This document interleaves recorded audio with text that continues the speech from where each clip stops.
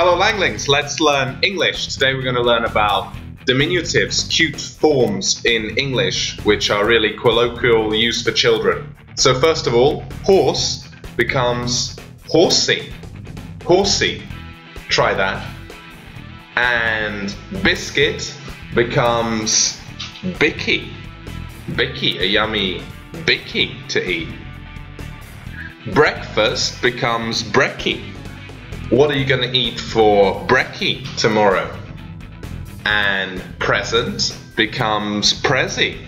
Hope I get lots of prezzies for Christmas. And drink becomes drinky. I really want a drinky. Or people even say drinky poos.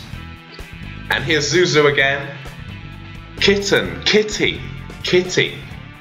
So these are all colloquial forms used with children a lot. This has been your language tutor online, teaching the world English. Subscribe, leave a like, and check out all the other videos.